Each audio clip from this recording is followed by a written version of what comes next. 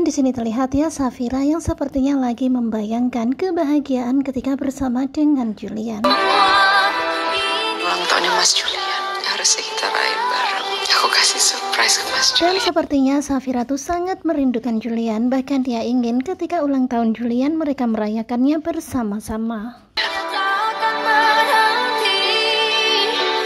Papanya Rafael tuh nggak setuju. Sementara itu terlihat Rafael yang nampaknya sedang berpikir serius. Kemudian kalian juga bisa lihat ya Mona ketemuan sama Safira. Dia mau kamu balikan lagi sama Rafael.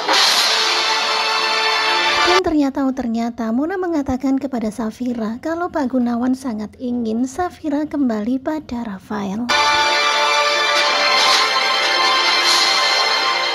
Mau rumah tangga anak tante dengan menantu tante rusak aja. Sementara itu terlihat ya Mama Gina yang sepertinya lagi ngomelin Dania. Tentu saja dia sangat nggak suka ya dengan keberadaan Dania yang merusak rumah tangga anaknya. Tante rusak hanya karena kamu jadi masalah di sini.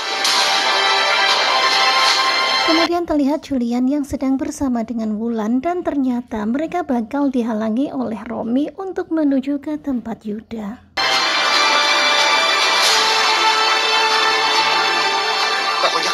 Dan kalian bisa lihat ya bagaimana Yuda yang sepertinya lagi sangat asik bermain bersama Loli.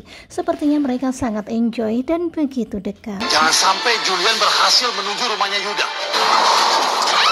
Tetapi ternyata ketika lagi OTW menuju ke rumah Yuda, benar-benar Julian dan juga Wulan dihadang oleh mobil tak dikenal. Kemudian terlihat ya Dania yang berada di rumah Julian dan kalian bisa lihat bagaimana Julian menatap sinis Dania. Gak usah pura-pura bincang. Perbannya buka aja, biar kita semua tahu.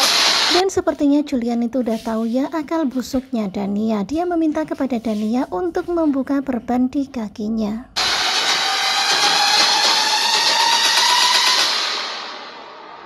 Dan tentu saja Dania pun deg-degan ya dan ketakutan. Tetapi, tetapi ya bisa jadi ya Dania itu udah punya akal licik duluan melukai kakinya.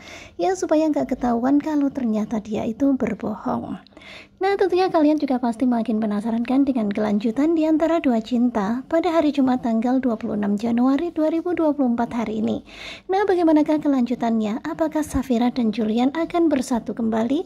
Dan bagaimanakah pertemuan antara Mona dan juga Safira? Apakah Safira akan enggan untuk kembali pada Rafael karena Mona berkata seperti itu? Simak kelanjutannya hanya di SCTV dan jangan lupa terus dukung sinetronku. Terima kasih buat kalian yang selalu setia dan jangan lupa nantikan video selanjutnya. Terima kasih dan bye-bye.